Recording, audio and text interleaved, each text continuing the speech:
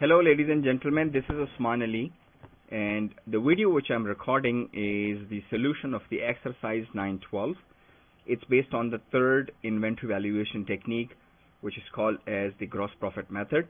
So gross profit method is quite useful method when you do not have information on the unit price or the quantity of the inventory and yet you intend or you plan to or you expect to find the ending cost of ending inventory and cost of goods sold actually. So gross profit method will be very useful in that case. So let's do an example in order to understand the overall process of the gross profit method and how it can help us to identify the cost of ending inventory. So this is the exercise 912 uh, Mark Price Company has used the gross profit method to estimate its inventory for monthly repairing purpose. And some of the information for the month of the May is given here. So it means that their accounting period is only one month. And on every month basis they actually used to do their adjustments. So there is some information given to us as inventory on May 1 which is the beginning inventory. Purchase information is given but these are gross purchases six lakh and forty thousand dollars and then freight in is given to us 30,000 which is the transportation cost that you have incurred to bring the product which you have purchased to your manufacturing facility.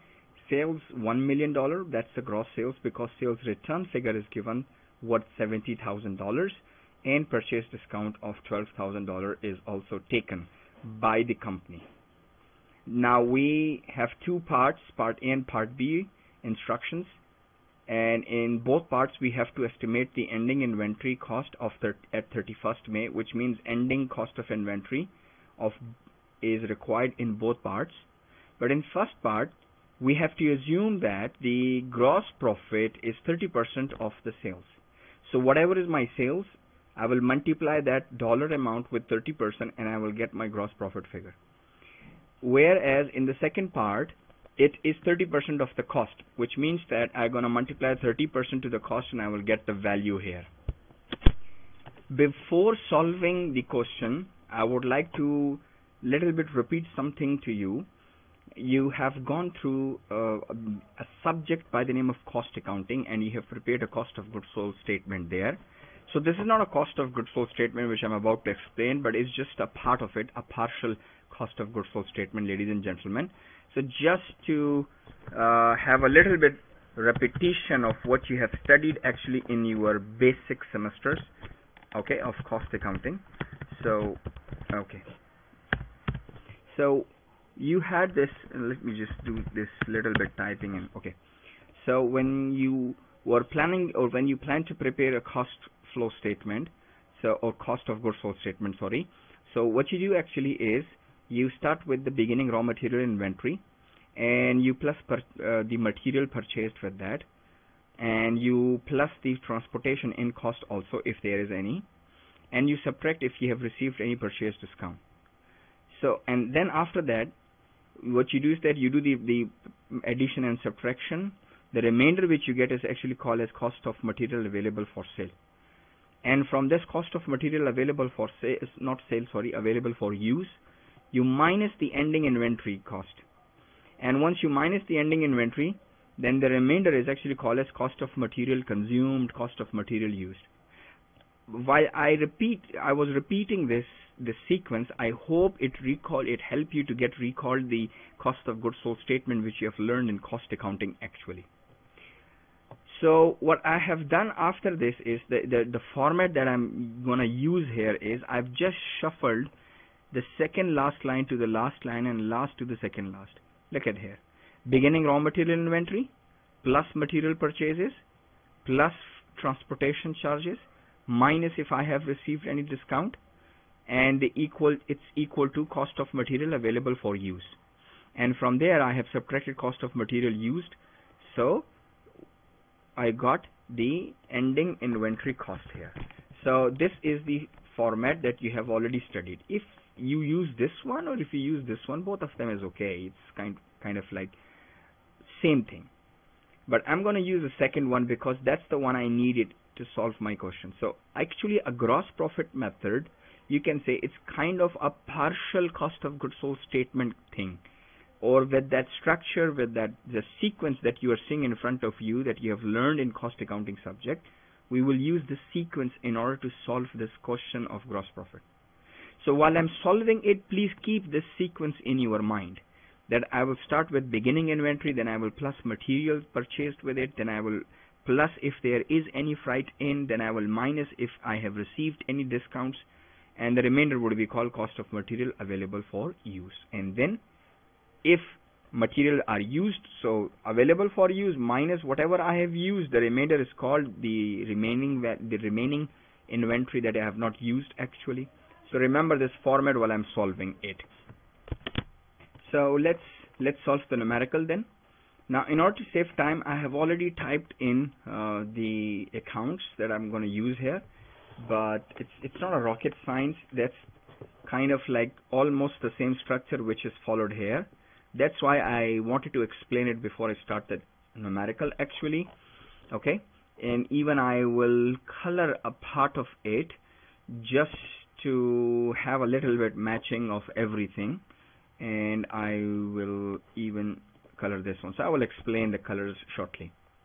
So if I am using the gross profit method first of all I would always write beginning inventory cost of beginning inventory or inventory at May 1st so at May 1st is actually the beginning of the month. So beginning inventory just like this one beginning raw material inventory so what is my beginning raw material inventory? Inventory May 1st is one lakh and sixty thousand dollars. So I will write here one lakh sorry not here in the main column. I will write one lakh and sixty thousand dollars. So I hope you got this point. After this I'm gonna plus purchases if there are any purchases actually. Okay? So let's see if I have any purchases.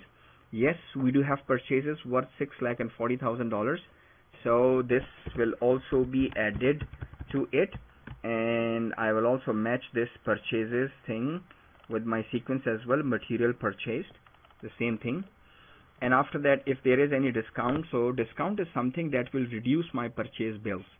So it's not something which we add it is something that we must subtract. So if I see here in the last of the table purchase discount worth $12,000 so we got a minus $12,000 here. Why minus? Because it's a discount that I have received. It's not something which increases my cost. It decreases my cost actually because I have received a discount. So that will be minus 12,000 then if I have any freight in so the freight in I have is 30,000 and it's a cost actually so it will be added. So after this we have goods available okay? Let me compare. Now this was the yellow color I referred to that this yellow region this yellow region is the same thing which I wrote here. It's the same thing. This is also the yellow color. Material beginning material plus purchases plus freight in minus discount is equal to cost of material available for sale. That's the same cost of goods sold that you have learned.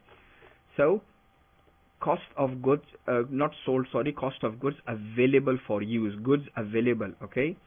So 1 lakh and 60,000 plus 6 lakh and 40,000 minus 12,000 plus 30,000 if you solve it it will give you 8 lakh and 18,000 dollars actually. You can do that.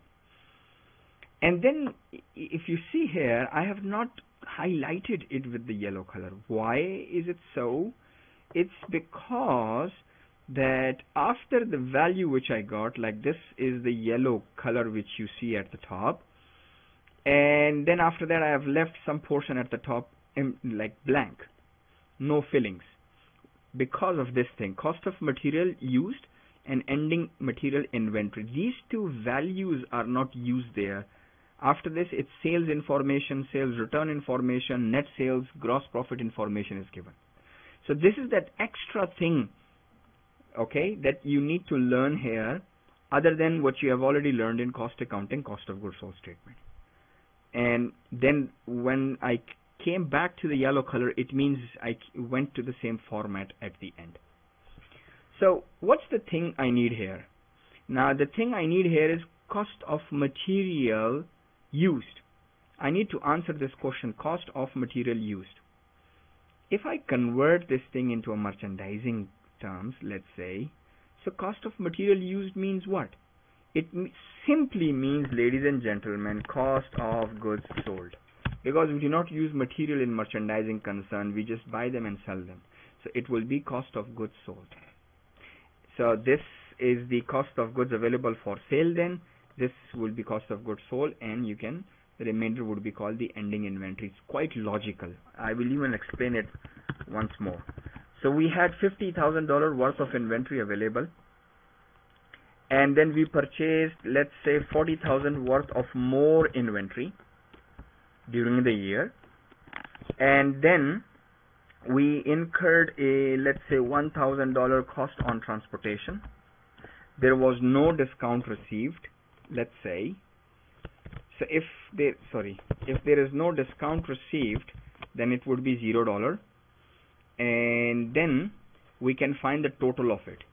So the total would be that we have $91,000 worth of inventory which is available for use.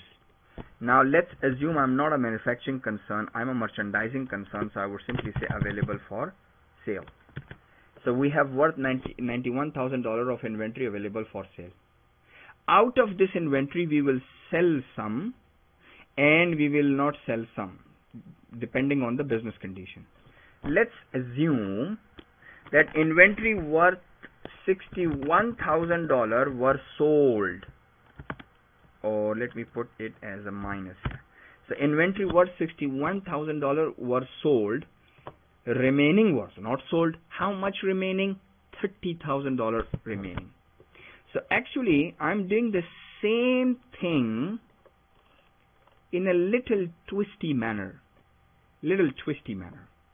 So why these four lines extra? These four lines are extra in order to find this $61,000 let me highlight it.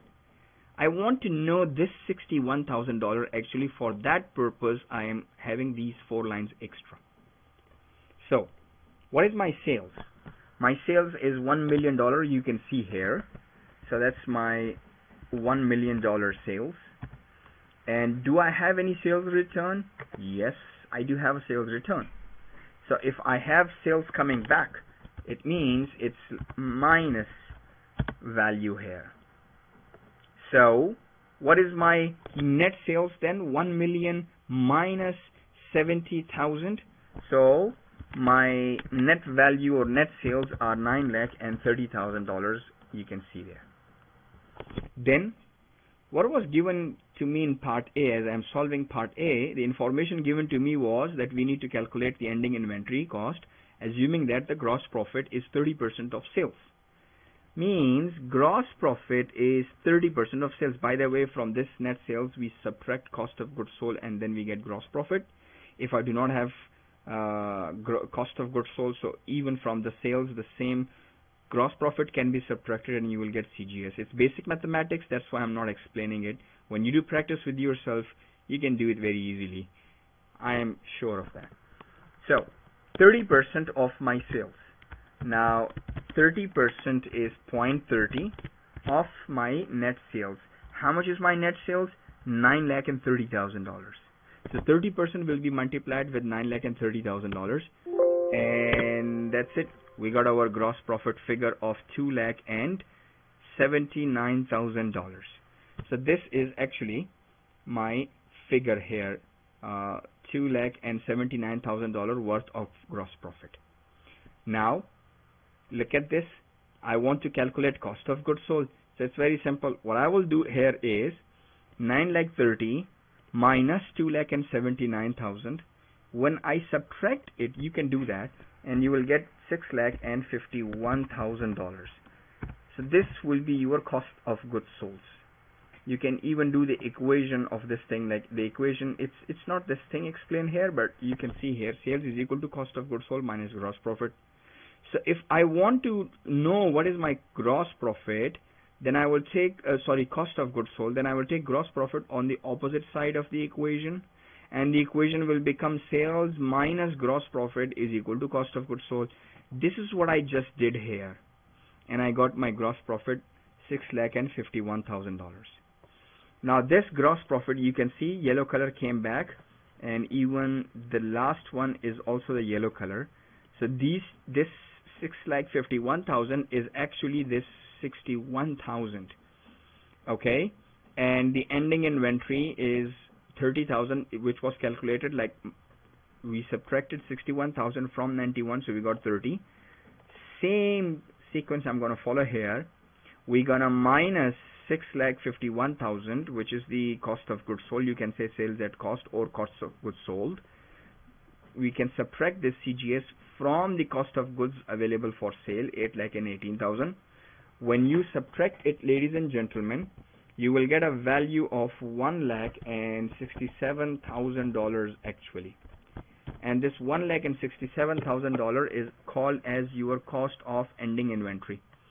So you just saw I replicated this the, the, the sequence here except these four rows which is extra and I did it only to calculate this cost of goods sold thing because I was having no no options other than this technique. So that's how you will calculate the gross profit or you value the inventory. So this is the value of the inventory present with you at the end of the year. And this one lakh and sixty $7,000 will actually be shifted where? It will be shifted to the balance sheet of the company where the 6 lakh and 51,000, 9 lakh 30, 279, 70,000, 1 million, all of these figures are the part of the income statement actually. In fact, this is also the part of uh, profit and loss and trading accounts. So that's part A.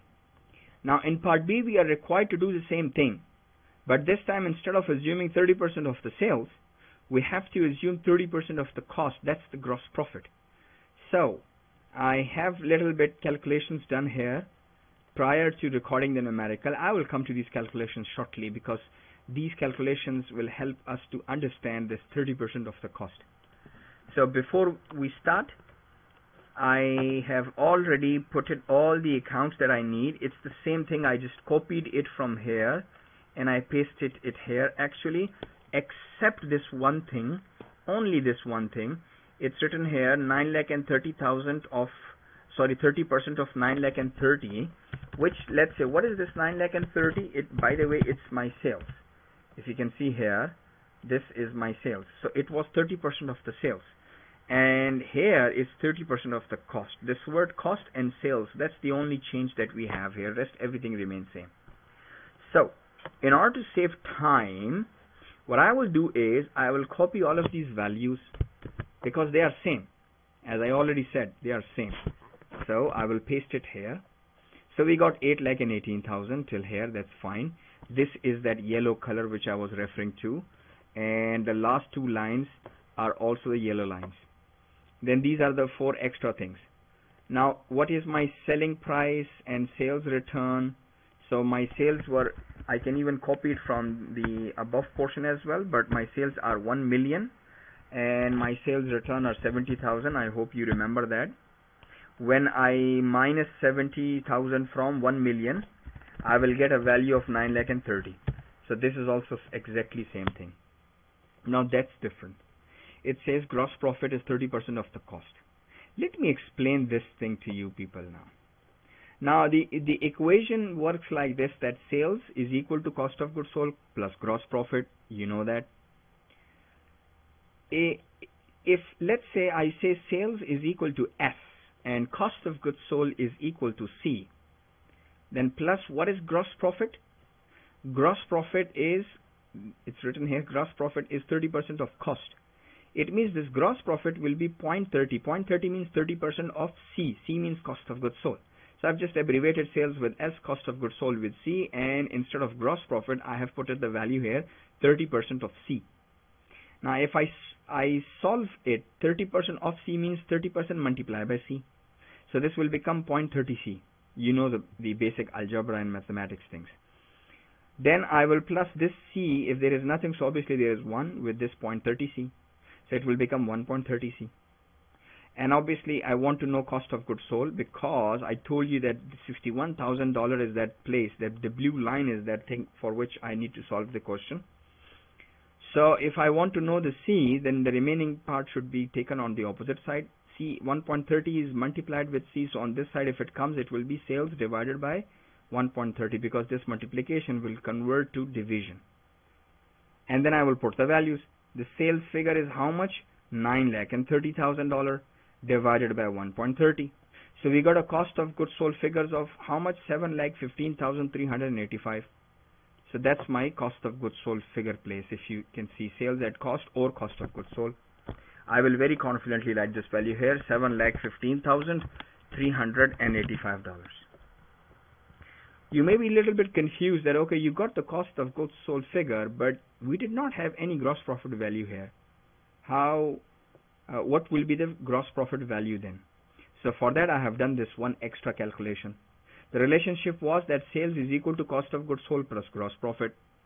Now I do know my sales figure is nine lakh and thirty thousand dollar from here and I also know that my is equal to and I also know my cost of goods sold state uh, value is 7 lakh 15,385 I shifted it here but gross profit is unknown to me.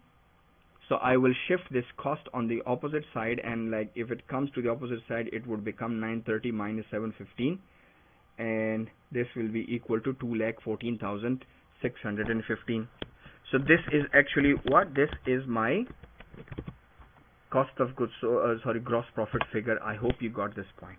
Do a little bit practice and it will be fine with you because this is just basic mathematics.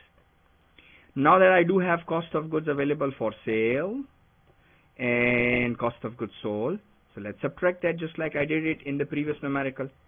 So it will be what? 8 lakh and eighteen thousand dollars minus 7 lakh fifteen thousand three hundred and eighty five dollars.